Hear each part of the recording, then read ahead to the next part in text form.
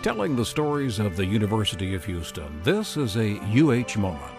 Ruben Cordova can weave tales of the Day of the Dead or El Grupo con Safo, punctuating his stories with images and art pieces.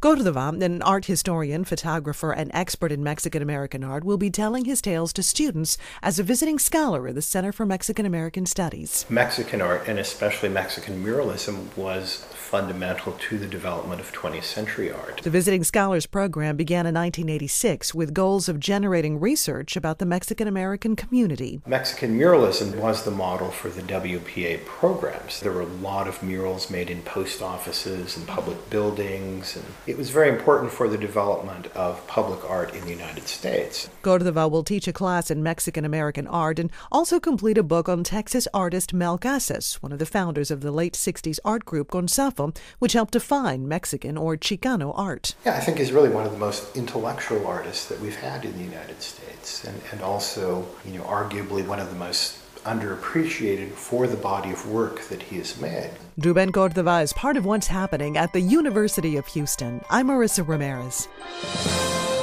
Telling the stories of the University of Houston, this UH moment is made possible by KUHF, a listener supported radio from the University of Houston.